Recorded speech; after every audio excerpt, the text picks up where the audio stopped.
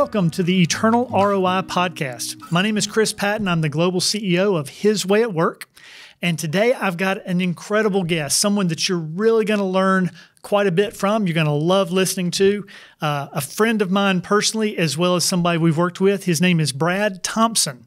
And Brad is retired today, but he's the former CEO of Columbia Forest Products. Brad, welcome to the show. Oh, thank you, Chris, for that kind uh, introduction.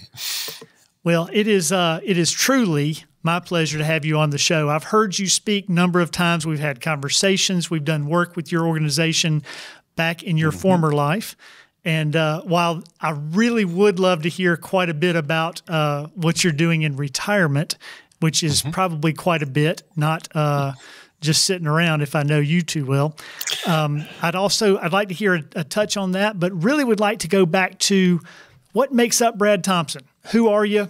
Why should the people that are listening right now even care? Why should they listen to you? And and uh, while I know you're humble, I want you to really share with them who you are. okay, well, I'll do my do my best, uh, Chris. Uh, well, again, I'm uh, Brad Thompson, and I uh, retired a few years ago from a company called Columbia Forest Products in uh, the end of 2018. I uh, refer to myself as pre-COVID, so I didn't have to experience much as uh, of that world as uh, many of the listeners uh, uh, have. However, I, I, did have some time through the Great Recession and spent my career. I'll go way back, Chris. I started Please. in the forest forest products industry back in. Uh, I think I looked at. I'm beginning to look at my uh, social security statement. I began working in 1973, but start, started focusing wow. in the forest products industry in 1978. And so um, I uh, went to school, had a degree in forestry, and later uh, received my master's in business and uh, went to work from uh, for some very large uh, forest products corporations. My wife and I, we have three children. We we moved around the United States, mm. a number of places, and um, back in 1992, and then we'll fast forward. Um, I went to work for a company called uh, Columbia Forest Products and uh, my wife and I moved uh, from Wisconsin uh, to a place we said we would never move to. and so that's the first lesson I learned in life. Never, uh, never uh, grasp onto things or tell the mm. Lord what your plans are, because all He does is laugh at those that's plans. Right. And so, anyway, we, we moved to Virginia with my family, and I, I managed uh, some facilities for the for the company. And you know, my spiritual life at that time, if if it's a good time to talk about that, I, I, wasn't.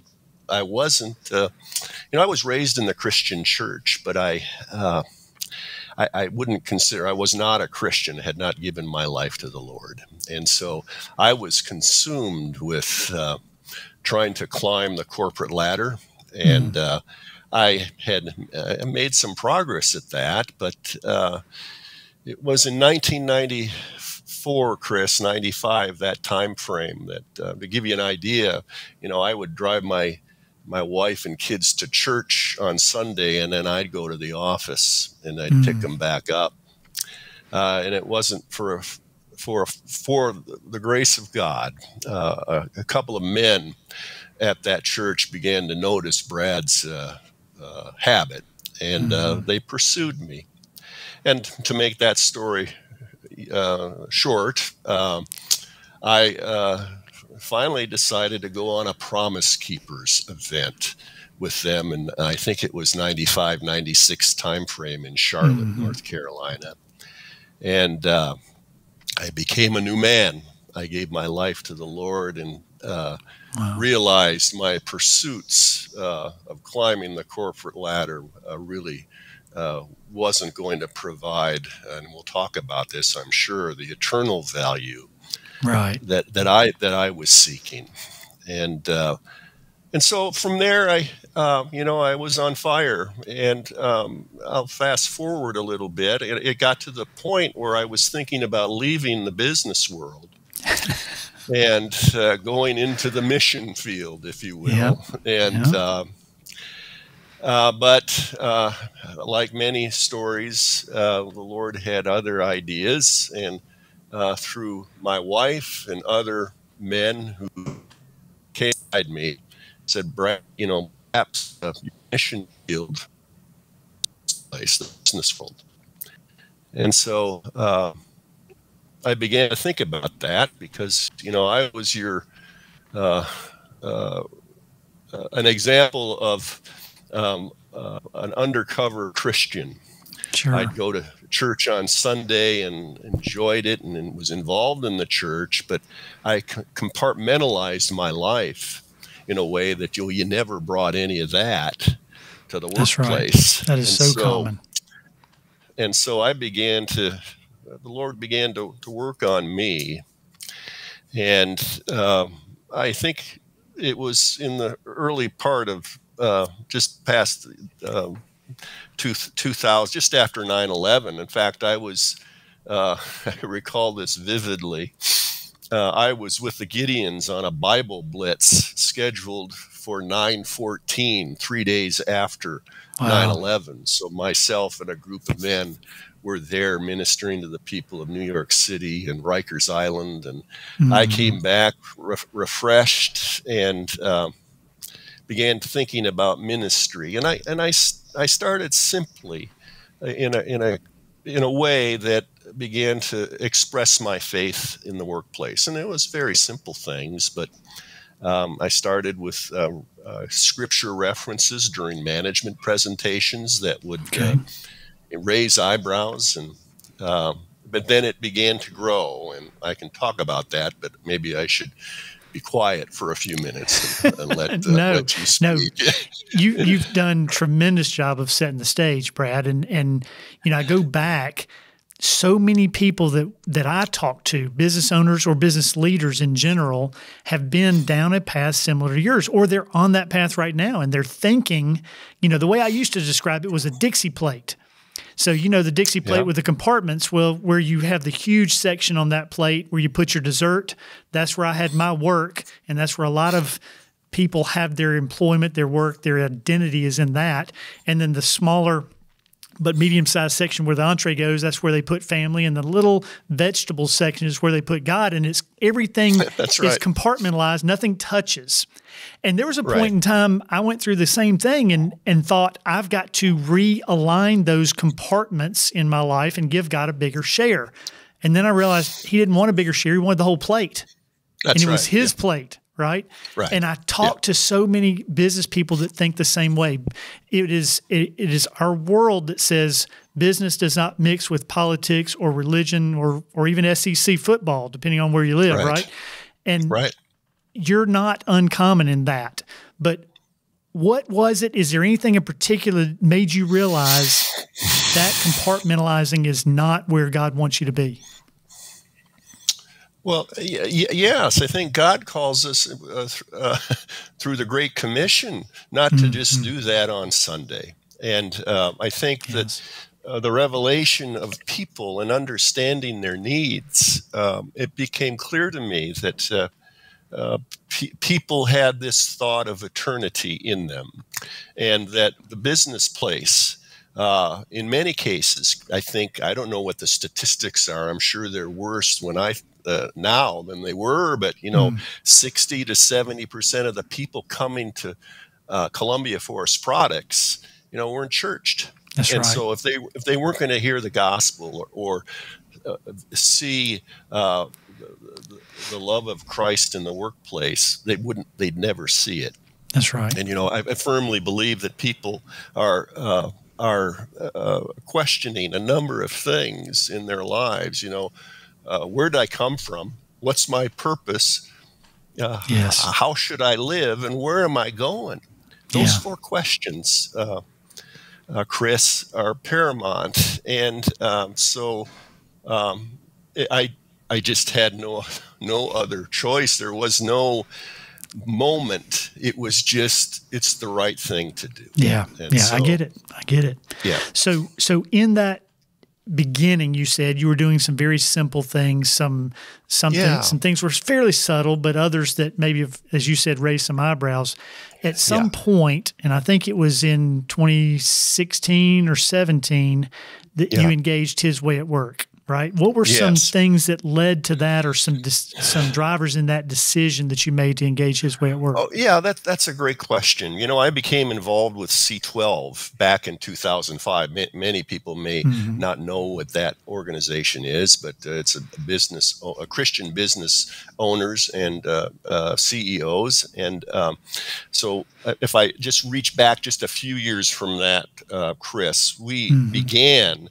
Um, now I should say something about Columbia Forest Products, and, and this it's, it's not a small company. I mean, Right. our sales uh, range from 600 million to 1.2 billion when I was the uh, Wow. CEO of the company, and um, I didn't uh, not a Christian company. And before I became the CEO, um, I was beginning to um, uh, work on workplace ministry, developing a strategic plan for ministry, and that raised a lot of eyebrows, and I got a lot of pushback from corporate offices. But let me move forward a bit. Uh, it it came to the realization if you're going to be intentional about workplace ministry, you, you- certainly have to pay attention to the economic value added of the company. How does it Sure. provide economics? It's got to be successful. you know, Otherwise, it doesn't without- keep going.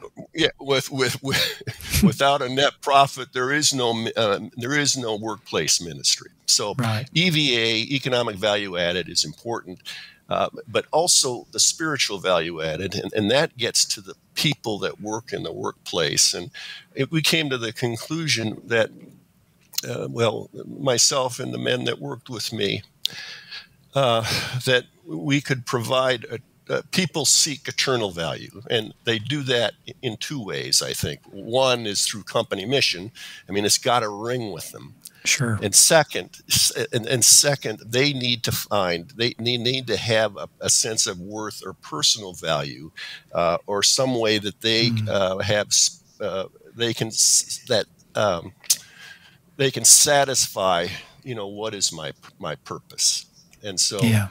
uh, those, those two areas through um, through company purpose and spiritual value added or providing a means for people to find eternal value or significance as i called it Sure. in the workplace you know and god clearly speaks to us and i think which brought us to say at work i saw peter from polydeck make a, a, a presentation i think Sure. the, the founder of his way of work Mhm.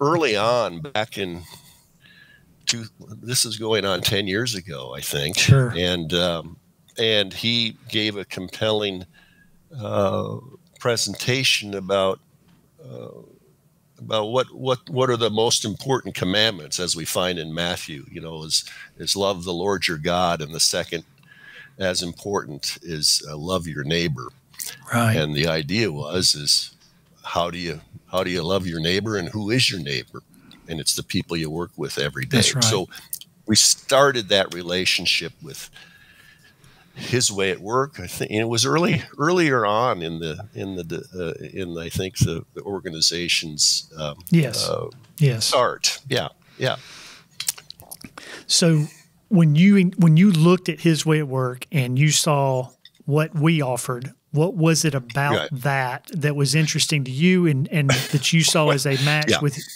CFP? Right. Well, so th- that's a great question because when I first talked with uh, Peter about this, you know, um, you know, I think there needed to be some things in place, and he, uh, I think there was some uh, uh, initial feeling out of one another, and how, how far do you want to take this, Brad? Because it takes. Uh, you can't be a coward when you start doing these things. It it's takes all in, right? it, it's all in and uh, i think uh, after discussions with peter and us visiting um, uh, polydeck down in south carolina and then talking to others that were in process of implementing his way at work uh, I, I got familiar with the process and that was this idea of company purpose which is important i mean if you were to look at our mission statement back then chris you know our people couldn't remember it, and I had to read it every three or four days so I could remember it. so I think you know we had a, a base of caring already. Uh, we had uh, widespread use of corporate chaplains in uh, 15 of our facilities across North America. So it, it appeared we were staged correctly to go to the next next step, and that's to get people involved, and that's what we did. We uh, mm-hmm. what I uh, admired about his way at work is they started right right at the base uh, of where you should start, and that is let's look at your company purpose, and does that really uh, reflect? Uh, in in my own words, does that reflect a caring company? Right. It, ours didn't, and we changed it, and uh, that was the first step. And then we began working. And, and, and when I say that, Chris, it, it wasn't uh, wasn't me coming up now with the oh, company oh, purpose or mission it. statement. It was we, we, selected a group of people around the company, uh, from the people that uh, run a press in one of our facilities to mm. a plant manager, and they came back with a very poignant, easy to understand uh, mission and purpose. And uh, from there, we began uh, introducing. Um, uh, his way at work, which then evolved into uh, something even much larger in terms of uh, caring. And sure. I'll, I'll, share a statistic with you here, when, please, when the time is right. Yeah. So. I hope that's not too wordy. Yeah, but, no, that, uh, that helps. So, so let's fast forward. You you in, implemented the system, the operating system is yes. what we call it today, yes. and and you've right. got the caring team, you've got the the uh, the setup.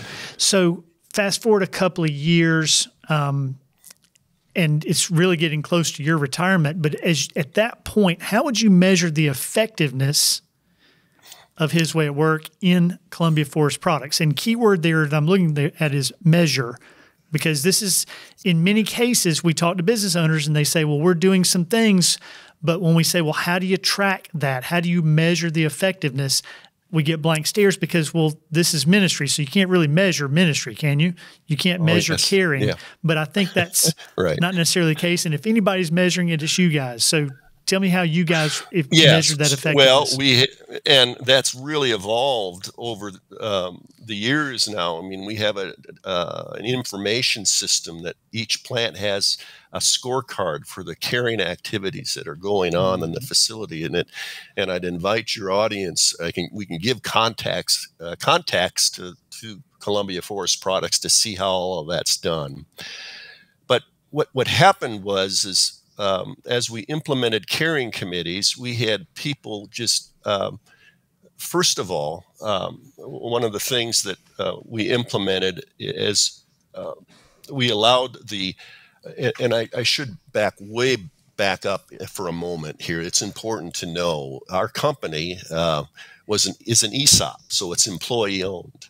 right. and so that ESOP, uh, I felt that it important uh, that if we were going to care for the community, care for our employees, that the people that own the company should make those decisions. Absolutely. So, uh, and so we implemented these caring committees across uh, all of our facilities. In fact, I went or by conference uh, started uh, and I introduced and welcomed the team that was put together.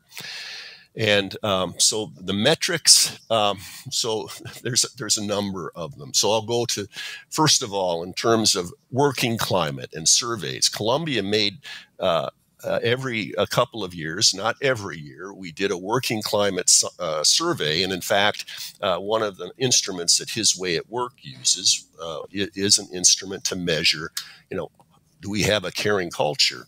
And so, first thing was, as we saw those scores grow dramatically. Uh, that, that's the first thing. The second thing um, is we saw our turnover. We had among uh, our turnover begin to go down, which in a, I, I think today, if you were going to ask many business owners, what's their biggest worry is who exactly. are we going to hire? That's right. And so, if if you can get to people and give them uh, a significance and eternal value, you know, let me state it this way Columbia Forest Products, we made hardwood plywood, and that's not the most glamorous job in the world, and it's hard work. Yeah. And so it may not bounce them out, people out of bed every day to come in and work at a hot press or to do accounting. Right. But what they can find significance in and what can bounce them out of bed every day is caring for the employees uh, that they work with and care uh, for the communities in which they they live. And so, um, turnover was the other improvement in statistics. And you know, I don't, you know, it's hard to say this did that, mm-hmm. but from this period of time, uh, uh, our stock price grew 70. Uh, I think if I were running the math quickly in my head, about 75 percent. Wow. let, let, me ask. Let me, other, go ahead. Go ahead. Yeah, I want to hear this other. One, yeah, one other uh, side, and I think I mentioned to, this to you. Uh, I did some after I retired. Uh, I, I, looked at uh, uh, when I retired. Uh, we I, we had a measure that we through corporate chaplains determine uh, how many people have uh, given their life to the Lord. In a mm. company of about 2,000 people, we had some 350 employees give their uh, make a, a, profession of Christ. Wow. After the implementation, uh, and, and I did the, the statistics, and that was over about an eight year period of time. But then I looked at the years since implementing his way at work, and the the rate in which people were coming to the Lord uh, more than doubled during that period of time from 216 to 219. That is so fantastic. I, I, don't know uh, what uh, what else to say other than the caring we, culture. We can shut the show down that, right now, right? Yeah, yeah. if the caring culture put that uh, put that environment in a way uh, in, in, in the in our facilities, it, it, it made it possible for for people to see uh, the light of Jesus Christ in their everyday work. And many people in these caring committees weren't Christian, but maybe now are because of yeah, this. That's fantastic. So let yeah. me ask you a question here, Brad. Um, and I know it won't, but the question is would it surprise you if I shared some data with you from a group called Sovereign's Capital? Right now, they've done some okay. research into yep. this idea of a correlation between human flourishing and shareholder returns. And they're only looking at public companies. And I know you guys, Columbia Forest Products is an ESOP. Many of the business owners we talk to are privately owned. But this goes to the publicly owned companies that don't have the option of accepting a possible loss in profit just to care for people. Right? right. They have to yep. show shareholder returns. So, over a 10 year annualized study 10 year airline annual 10 year annualized shareholder returns. They researched 125 companies led by faith driven CEOs. And then out of that 125, they took the most spiritually integrated companies, the top 50, and they compared those two groups with the Russell 3000 index. I won't go into a ton of other statistics, but this is mind blowing. 10 year annualized shareholder return for the Russell Index is 13%. When you move to the 125 companies that are faith driven CEOs during this period of time, it jumps from 13 to 19.3%. That's almost mm-hmm. a 50% increase. Right. And then when you go to the most spiritually integrated, the top of the top, that 19 jumps to 22 and a half. Now, the point here is this I know there's eternal impact, and quite often that's the easier story to tell, but business owners want to know well, you know, I hear, you know, Brad says they had a 75% increase in stock price, but that's one company. Yeah. Here's uh-huh. 125. Oh, there's this no doubt in my mind. Over 10 yeah. years. Yeah, right. What we do this, and it's not just his way at work, but it's the idea of applying a system to the company, involving the employees in the process. That's correct. Right. And loving on them, changing the culture. Turnover drops, direct correlation to the bottom line. Mm-hmm. Hiring is easier when you've got stickiness because you've got a culture they want to come to, right? All these That's things right. add up, and there's true bottom line results, but there's also what you mentioned more than doubling the rate of people coming to know the Lord. When working with a chaplaincy organization, you plug our system into that and no you more than double the rate. Yeah. I, I really, I just need to put that in an ad and, and throw it out there, right? Absolutely. I think that there's no doubt in my mind those statistics are related to um, the work of the Lord yes. to those that honor Him in the workplace. And uh, uh, I, uh, it, I, I, have to say that during this period of time, uh, which came out of uh, the caring committees and our work with His It Way, we uh, developed a nonprofit called the Columbia Forest Products Foundation mm-hmm. which took uh, donations from employees and then corporate matches. And uh, the company went from, uh, in 2001, I think the, the amount of uh, donations were in the neighborhood of uh, fifty to sixty thousand dollars for a company wow. of our size, and and then when I left, we were approaching a million dollars per year in giving. So it's uh, not not only uh, were uh, did our stock price go up, but we were taking dollars earned by the people that own the company and helping their neighbors, yes, communities in which they. That's fantastic. So now you've retired. You're looking back at this period. Yeah. How now do you measure the effectiveness of that decision or that series of decisions and, and what's going on at the company today? Well, um, so I think we should talk a little bit about how did I prepare my leaving. Um, Please. And so I think uh, it's a process in which I started fully three years, and uh, and some would say that's not long enough, depending upon uh, if you own the company or you sure. or you don't. I didn't, uh, but I began cultivating senior management people that were equally yoked with me mm. in terms of my uh, my beliefs and uh, uh, the uh, the caring culture that we were developing. And you know, I'm happy to say that uh, that transition went smoothly.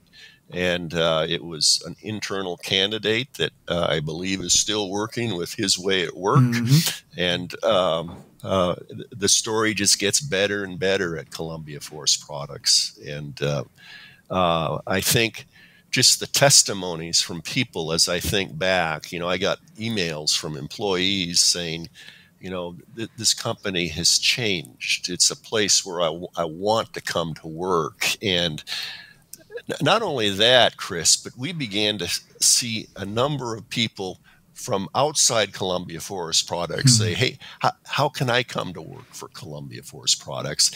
and you know, I, I know things have changed uh, and the uh, employment uh, situation sure. and the environment of finding good people is probably not uh, is is it's, it's it didn't get any better. Right. But uh, I, I think if you provide a culture where people, and this is what I learned, that people can find significance in the workplace, no matter what that business is.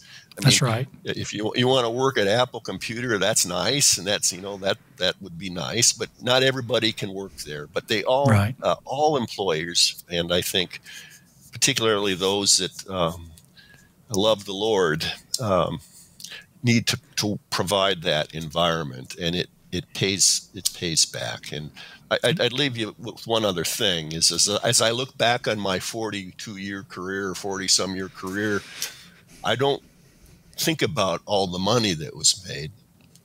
I, I, that doesn't even, you know, I wish I would have, we would have made more money. Sure. I, it's, it all points to the work and to the ministry and the culture uh, and those that came to know our Savior. That, that's, that's, what I remember. That's, that's I don't fantastic. remember. I know it's important, but that's what I remember. Well, I'll put it this way, Brad, and you didn't use the word, but legacy is what comes to mind, and and all of us whether it's with our children, uh, it's maybe our work or our workplace, or in some way want to leave a legacy. And and if we got our heart right and and the Lord is in us, our legacy is not going to be all about us, but we want to make sure that the place that we are leaving, whether it's our family, our kids, our work, is better off because we were there, and it doesn't just fall off a cliff because now we're out. Like you said, you spent a lot of time, energy, and effort leading up to your exit so that it would continue to glow, grow and climb. And I think that's, That's a right, huge legacy. So let's one last question here, I guess too. Yeah. Yeah. What advice would you give today to a business owner or leader that is way back where you were just after Promise Keepers? They're spiritually, they're a new person. God is in them. They're trying to figure this thing out. They originally thought, I've got to choose ministry or work. I can't do both, uh, ministry or business. And now, obviously, they're hearing otherwise. What advice would you give them in these next moments for their next steps? What should they be thinking about and doing? Well, a couple things. I think the first thing is is to uh, join join a group of men that are equally yoked with you and and ha- are mindful uh, that they want to do something. They just don't know how to start. And uh, I would, you know, I call it the the trifecta. For me, it was the C12 organization. It was Corporate Chaplains of America, and it his it was his way at work. Those three organizations, uh, and th- those evolved. I mean, we weren't ready for his way at work until a few years down the road. Sure. And uh, and I, I would say this personally. Um, the, the first thing, and I could sit down and talk about all sorts of things that I did to to force myself um, to name Jesus Christ as my Savior in the workplace, and that started with simple things like a Bible on my desk. Uh, the back of my business card, I put my personal testimony in terms of John eight thirty two, uh, and uh, you know people would flip that card as I gave it to them, and it would raise eyebrows, but it forced me to tell them the hope that was in me. And so you, you got to start small, and eventually, uh, you begin to think about, well, how do I take this to the next level? How do I? How it's, it's got to start with the CEO, Yeah. uh, but how do I take it to the next level? How do I involve people around me, and, and then use that that team, that group that surrounds you. Uh, it's it's almost. Uh, I'm, I'm trying to remember the scripture in. Uh, you know, when Moses was uh, holding his, um, uh, he had uh, Hur and Yeah. Oh. Holding his arms up in the battle. holding holding his arms up, and every time uh, his arms went up, uh, I think Joshua was winning the battle against Amalek, and when they fell, the opposite was happening. You got to have men to you got men and women to support you as you do those things, Very and so good. you need to find a small group around you to help you, sure. um, and then just start. Have uh, have courage, and the Lord will bless that. yeah. And and multiply it, right? Because That's the, it. Yeah. the things I've heard you say before is you were a an instrument. You didn't create all this impact yourself. No. You just you said yes, and he used that yes. That's right. That's right. That's great. Well, let me ask you this. We'll close out with a couple of quick fire questions, Brad. Is there Yeah. a resource, a book, or a podcast, other than this one, obviously, uh, that you would recommend to someone that's just had an impact on you? Something that's, uh, you know, could be from the last year or two or three of, of retirement or even go years back. Yeah, I'm I'm listening to something now that is, oh gosh, you know, I, I, many of many of the people may know Buck Jacobs, um, founder of C12. But let, let me uh, let me uh, I, I I'm sorry, I'm it's a it's a profound um, it's uh, a daring a daring faith in a cowardly world. It's by Ken Harrison. It's a brand new book, and it's um, it's worth the read. And so Very it good. speaks right to this idea of having a daring faith and having the courage to to, do to step out. That's Yeah, great. We'll put that it. book in the show notes. And you mentioned earlier in the show that uh, we could put some contacts out for uh, Columbia Forest Products if somebody wants to reach Absolutely. out there. Is, and we'll Yeah. also have his way at work listed there as well. So Sure. you've given much advice here, uh, and I'm not going to ask you for another piece of advice. But if you had to, if you had to summarize today's, we've been together about 35 minutes. If you had to summarize that time, what's the one big takeaway that you would want someone listening, if they got nothing else, take this away with them? Um, well, so I, I think I, I'll ref, I'll go to Acts uh, six, um, verse four. Devote yourself to prayer and to being in the Word of God. Devote yourself to prayer, and He will guide you uh, through uh, through this this time of developing a workplace ministry. Chris, I gotta say, I didn't know how this thing was going to go, and uh, just a flood of memories came, and I know that's the that's the Lord. Uh, yes. Telling telling me, Brad, say this, and uh, uh, it's not it's it's uh, you know CEOs have a they have a role that uh, is is difficult, and uh, so the advice again is be be in prayer and be in His Word, and that's uh, solid. That's that's solid, and that's sounds right. simple, that's but it is anything but easy. Very difficult. Oh, yes, tell is. me about it. it. I get it Yeah personally yeah. convicted on that. Well, thank you, Brad. It's been a fantastic show, and I, I sincerely mean this. You are uh, someone who has left a legacy at Columbia Forest Products that continues to grow. And uh, yeah, I appreciate all that you've done, not only in that business, but even since you've retired. I know you've been involved in quite a bit. Sorry we didn't get into all that, but uh, look forward right. to having another conversation with you another day. All right, but thank Chris. you for your hey, time Chris. today. Yeah. You have a great one. Thank you, Chris. Nice to see you again. You too. Thank you for listening to another episode of Eternal ROI. If you like what you heard, we would love for you to take a moment and leave us a review and share an episode with somebody you know.